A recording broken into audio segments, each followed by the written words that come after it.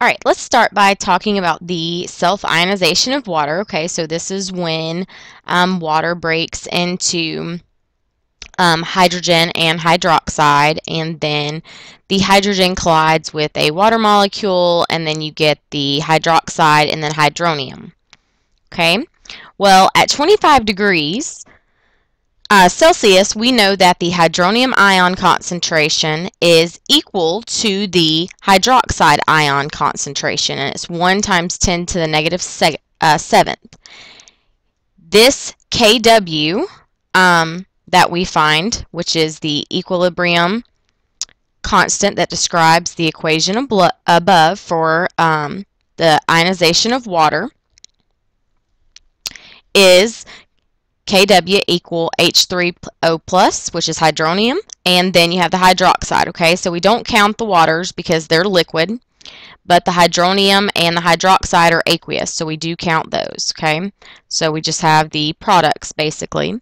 And we know that their concentrations are 1 times 10 to the negative 7th. So when we plug that in, we know that the um, value for the equilibrium constant for the equation above is 1 times 10 to the negative 14th. Okay, so that's your equilibrium constant K for the self-ionization of water. This will allow us to calculate between units in just a minute. It becomes very important in the pH scale. All right, so we use pH to quantify the hydrogen ion activity. The pH scale usually runs from 0 to 14. Okay, so you see up here at 0, and in the lower numbers we have um, acids. Okay, and the lower the number, the more acidic you are. And then the higher the number, the more basic something is. Now, neutral is going to be a pH of 7. Now, 7 did have something to do um, with our concentrations from KW just a second ago, but we'll talk about that a little more. All right, now just do note that if you have a very strong concentrated acid or base, you can have a pH that is above 14 or below zero, making it a negative pH. So that is possible. All right, so a little more about the pH scale. The pH scale is based on the hydronium ion concentration, and it is also base 10 logarithmic, meaning that for every one point change in pH, the actual concentration changes by a factor of 10. So, for example, a solution of pH 6 is 10 times more acidic than a solution of pH 7. A solution of pH 8 is 10 times less acidic than a, solution of pH 7. Okay, so here again, you see the concentration of the uh, hydrogen or hydronium ion, which was 1 times 10 to the negative 7th um, when we looked before. And so you see that that's going to be our neutral pH. And then the uh, more and more and more and more and more hydrogen ions you get, the more and more acidic you get, then the lower the pH becomes. And the less you get, the more basic it becomes, or the less acidic.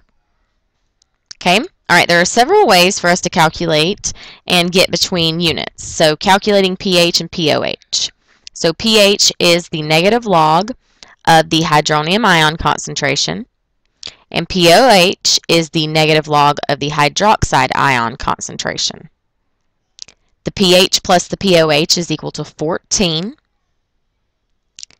and the hydronium ion concentration, you can find that by um, doing 10 to the negative pH.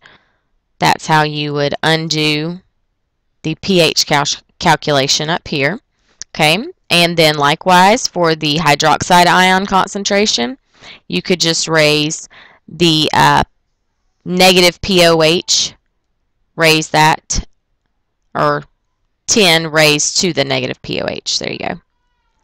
All right, so a little more on pOH. pOH is basically the opposite of pH. It's the measure of the OH um, activity or the hydroxide ion activity. It is complementary to the pH scale, so equal and opposite kind of thing. And don't forget the pH plus POH is equal to 14. Okay, so basically here's our pH scale. So here is basic, and then down here lower numbers are acidic.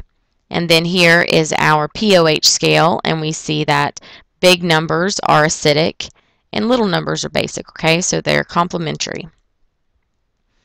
All right, so we need to determine the missing values here, and then we're going to say if it's a acid or a base. All right, so we are going to start with this one. So we have pH, and we know that pH plus POH equals 14. So that'd be 3.25 plus POH equal 14. So subtract, so POH is 10.74. Okay, now we also know um, we can get the H plus from the pH.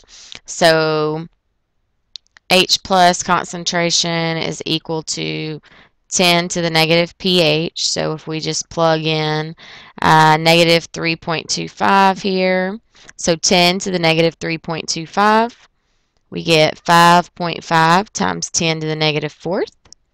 All right, and then if we do hydroxide concentration, we'll do 10 to the negative POH. So we're going to do 10 to the negative 10.74. And that's going to give us our concentration of 1.8 times 10 to the negative 11th. All right. And the pH is 3. Anything below uh, 7 is acidic. So this is an acidic um, solution or system. All right, now we have the hydrogen ion concentration in the second one. And we know that the pH is equal to the negative log of the hydrogen ion concentration. So if we plug in negative log of 2.5 times 10 to the negative second, that gives us our pH of 1.59. Uh, we also know pH plus POH is equal to 14. So pH is 1.59. So if we subtract it, we'll get our POH. So POH is 12.41. and then if we do um, 10 to the negative POH, that'll give us our hydroxide ion concentration. So 10 to the negative 12.41 gives us 3.89 times 10 to the negative 13th. Our pH is 1.59, which is even more acidic than the first one. Okay. All right, lastly, we have just the hydroxide concentration. So we know that we can get the POH. So POH equals the negative log of the hydroxide concentration. So we plug in negative log of 7.1 times 10 to the negative fifth, and we get our POH, which is 4.15. And then don't forget that pH plus POH is equal to 14. So if we know our POH is 4.15, 14 minus that will give us our pH of 9.85. And then to get our um, hydrogen ion concentration, we can do 10 to the negative pH, and that'll give us that. So we'll do 10 to the negative 9.85, and that gives us 1.41 times 10 to the negative 10th. All right, our pH is 9.85, so that's above 7, which means that we are basic. We have more hydroxide ions than we do um, hydrogen ions. And then when we're acidic, you see we have the inverse. We have more hydrogen ions than hydroxide ions.